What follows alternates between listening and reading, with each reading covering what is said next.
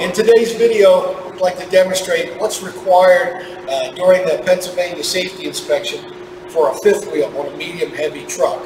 So, In the uh, equipment, vehicle equipment inspection regulations book, go to subchapter F, and there are two line items that discuss fifth wheel. And I'll read out here what they have. So it says, inspect the fifth wheel completely and reject if any of the following apply. First line item being, the lower half of the fifth wheel is not securely affixed by U-bolts or by other secure means. So first off, the lower half of the fifth wheel is everything you see right here on this tractor.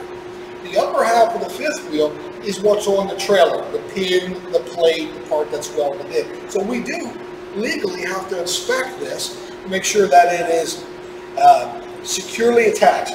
So we look at welds, we look at the huck bolts, make sure nothing's loose. If it has grade 8 bolts, hard washers, make sure that they're not loose. Look for rust stains or streaks. Uh, if the plate is off of the frame, try to pry it so you get any movement whatsoever.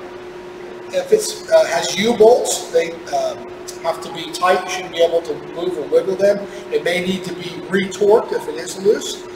Huck bolts, if they're loose, they have to be replaced either with a new huck bolt, cutting the old one off, or replace it with grade 8 uh, fasteners, uh, bolts, washers, and locking nuts. So check both sides, look at the inside and the outside for those rust stains. The uh, second item then is reject if the lower half of the fifth wheel is cracked, loose, missing. So if it had a fifth wheel, it was crack up in the top here, or any of the attaching points had a, crack, and we, we want to flip this fifth wheel up so we can inspect it. Both ends of it, get a light underneath there.